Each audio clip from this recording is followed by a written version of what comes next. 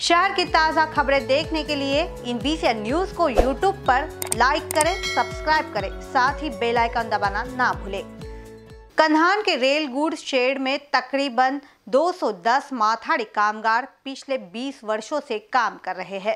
सभी माथाड़ी कामगार नागपुर में रहने वाले हैं और नागपुर रेड जोन में होने से माथाड़ी कामगारों को काम से निकाल दिया, जिसके चलते माथाड़ी कामगार काफ़ी परेशान है।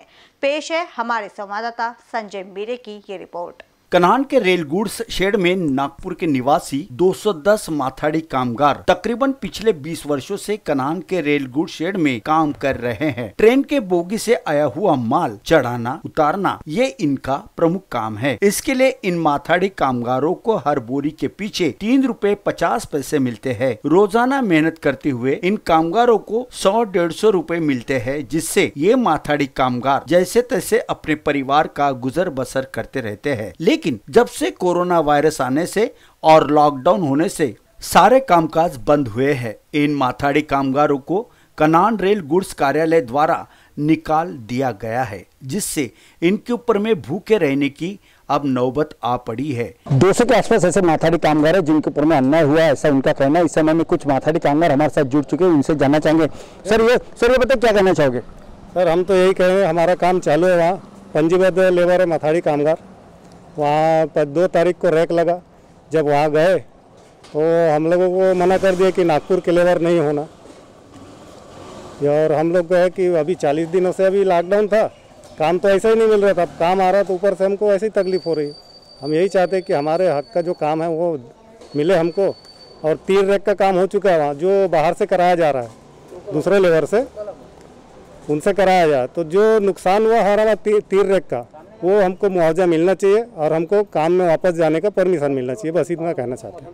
सर हमारा यही कहना है कि भैया जैसा बोलते हैं कि नागपुर के लेबर होना नहीं है मथाड़ी में कनान में ड्राइवर जाते हैं तो नागपुर से गाड़ी जाती है ट्रक। दीवान जी जाते हैं तो नागपुर से जाते हैं। तो सिर्फ़ हमारे को क्यों नहीं? लेबर से क्योंकि हम तो रजिस्ट्रेशन वाले हैं।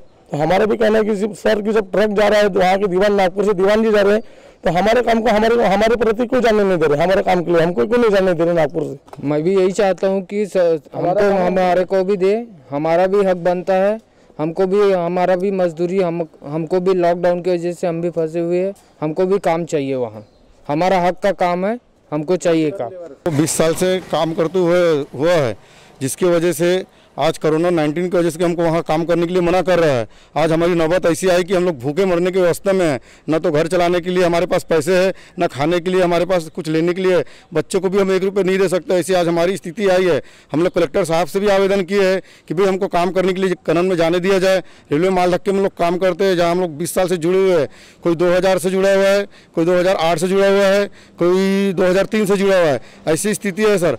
आज देखो तीन तीन रेख हमारी निकल गई है, जिससे हमारा पेमेंट बन सकता था चार चार, साढ़े चार हज़ार ऐसा हमारा पेमेंट निकल सकता था, जिसमें आज हमको एक रुपये की नौबत नहीं मिला है हमारे लिए या तो हमको हमारे भुगतान किया जाए, या हमारे को काम दिया जाए, ये हमारी गुंजाइश है उन लोगों से तो दर्शकों, देखा आपने कि किस तरह से माथाड़ी कामगारों का अपना कहना। हम आपको बताते कि इस समय जहाँ हम खड़े हैं, आप देख सकते कि ये वही ऑफ़िस है नागपुर और वर्धा जिला माथाड़ी और संरक्षित कामगार मंडल नागपुर नागपुर जिला सुरक्षा रक्षक मंडल नागपुर के नाम से ये वही ऑफ़िस है जो वीसीए जो ग्राउंड है, उसके जस्ट आगे में ये माथाड़ी कामगारों का ऑफ़िस है। 210 माथाड़ी कामगारों के ऊपर में भूखे मरने की नौबत आई है। वजह यह है कि नागपुर रेड जोन में है और ये तमाम माथाड़ी कामगार नागपुर से बिलोंग करते हैं और कनान में इन्हें काम करने के लिए सिर्फ़ नागपुर रेड जोन की वजह से इन्हें काम नहीं दिया जा रहा है जिसके चलते भूखे मरने की इन पे ऊपर नौबत आ पड़ी है।